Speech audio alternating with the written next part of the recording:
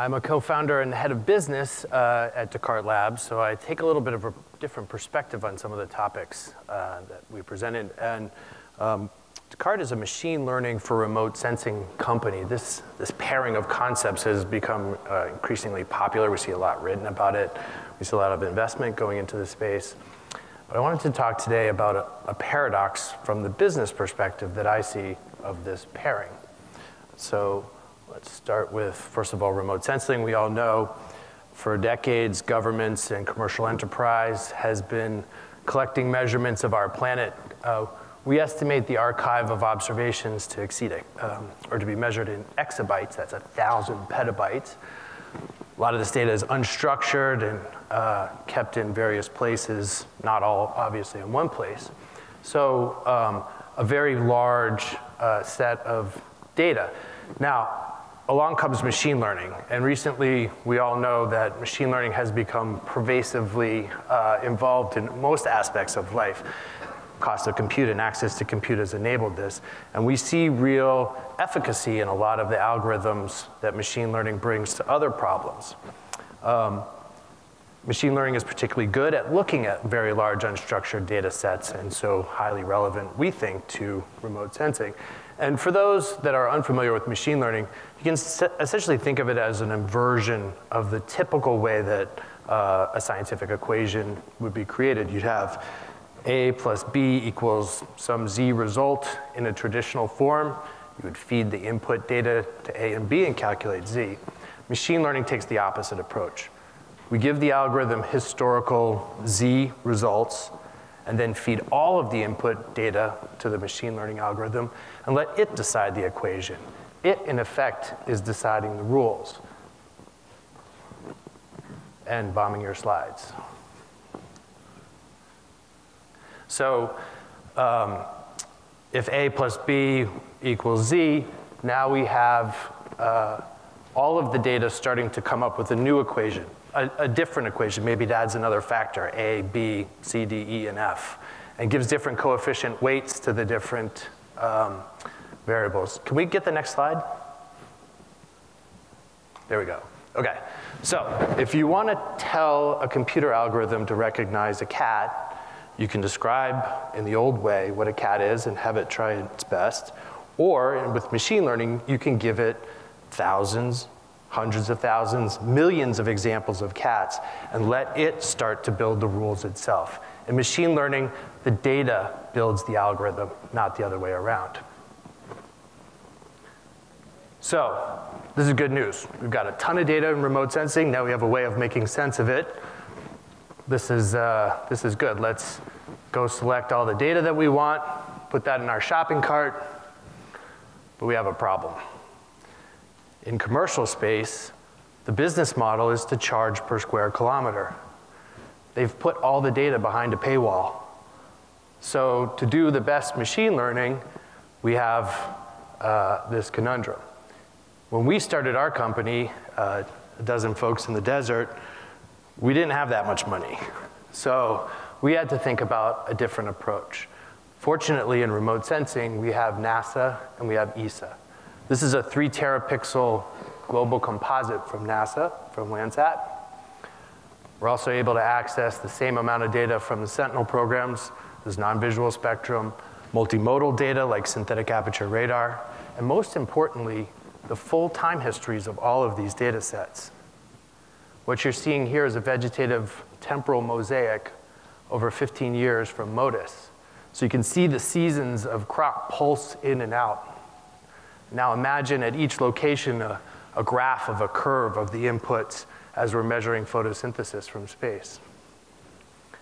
We also were able to download all the weather and in effect create what we call a digital twin of the planet. This goes back decades and allows us to do the kind of machine learning like training a cat classifier, but a little bit more sophisticated. So what I'd like to do is offer two um, examples of analytic or derivative work product that we at Descartes have been able to produce by having access to all of this free data. And then hopefully make the argument that we change the model uh, with commercial space. So the first one is a crop model. Um, Descartes in 2015 had downloaded all this data, and we built a classic machine learning estimate for crop production. We used corn in the United States to begin. What we effectively did was tell our algorithm what the inputs at each county looked like, that photosynthetic curve, including the weather inputs, and by accessing USDA records, we knew how much grain came out of that county each year.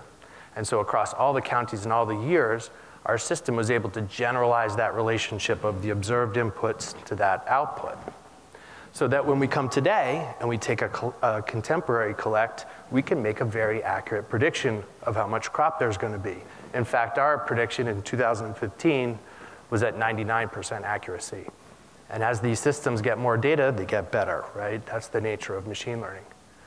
So if you're a trader, or if you're a supply chain manager, a lender, an insurer, a regulator, a buyer, an input supplier, this factor of how much production is coming is critical for you to know if you know it earlier and more accurately than the market.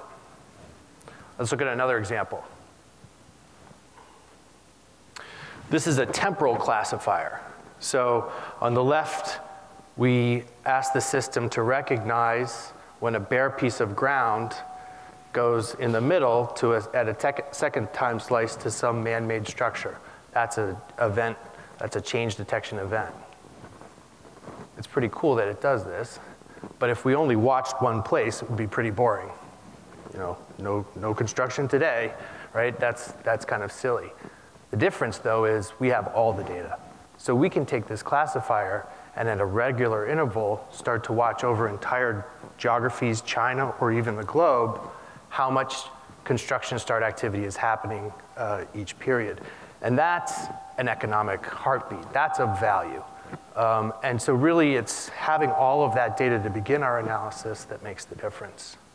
Now I think the interesting thing is we also have history for these things, so we can measure our accuracy. This one, in fact, when we compare it to government statistics, has an R squared above 0.9. So in both of these cases, we have a series of customers that have a few things that I'd like to observe. One, most of them have never used remote sensor satellite data before. Two, none of them really cared uh, about the raw images, they just care about the results. And three, none of them would have paid per square kilometer up front, but now are willing to pay an amount more than what it would have cost to buy those pixels had we done so commercially. And so this inversion of having a paywall in front of commercial data really inhibits a lot of use cases like this. The other thing that we observe is that typically the most valuable use cases don't uh, exist on top of a single source. It's usually multiple sources that we put together, MODIS plus the weather. Um, and this fusion uh, is part of the work that we do. We've built a cloud-based, what we call data refinery to bring these different inputs together upon which we can build our analysis. So of course, so far we've just talked about the public sector data sets. Um, we all know in this room that there's a renaissance in commercial space. There'll be more launches uh, by an order of magnitude in the next half decade than in the past. And each of those launches is gonna have an order of magnitude or more density of sensors. So the amount of coverage that's starting to occur is going from sparse to really rich, really saturated. And what that means if you're a supply chain company um, is that what was visible only to you previously is now gonna be visible to your competitors, uh, to your customers, to your suppliers, and that's a scary thing. If you're managing a supply chain and your business was predicated on information asymmetry or information advantage, um, if you haven't paid attention to remote sensing, you're gonna start, because if you're not, your competitor is.